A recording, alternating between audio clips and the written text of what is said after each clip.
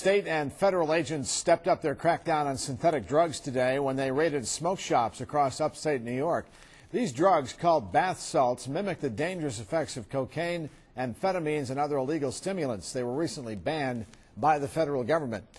Lynette Adams has been tracking this story today and joins us with details of those raids in Batavia, Brockport, and elsewhere. Lynette? Rich, tonight we learned federal agents and state police have been working on this investigation since the start of the year, going into stores and buying products right off the shelf. Police say they bought a variety of synthetic narcotics. All of this came about because of neighbors' complaints. It's one thing to read about it happening in other towns, but when it's happening, you know, a few doors up from your home, it gets scary.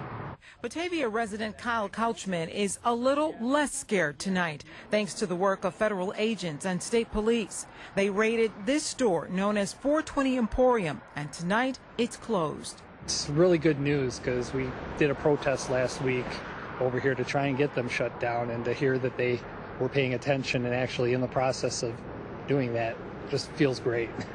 Police descended on this Batavia store and two other 420 Emporium stores, one in Henrietta and another in Brockport today. We were in Brockport when the raid happened there. Federal authorities say these stores are outlets for the highly dangerous and unpredictable bath salts and synthetic drugs. U.S. Attorney Bill Hochul says these drugs have created an epidemic.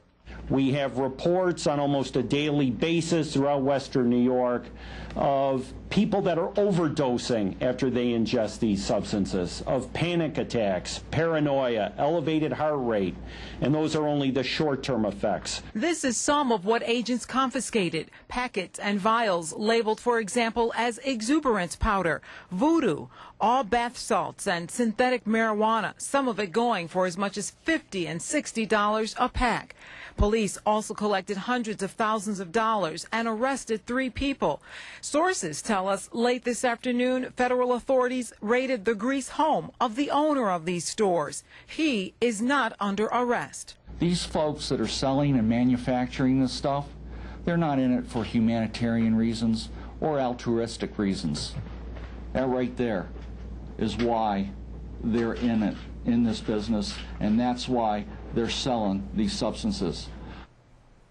Federal authorities say they anticipate more arrests in this case. We can also tell you federal agents raided other establishments today, two other 420 Emporium stores in the central New York area, another store in Buffalo, and elsewhere across the country. Rich? So can these stores open up tomorrow? While the stores can open tomorrow, they were not closed. Police arrested the store clerks.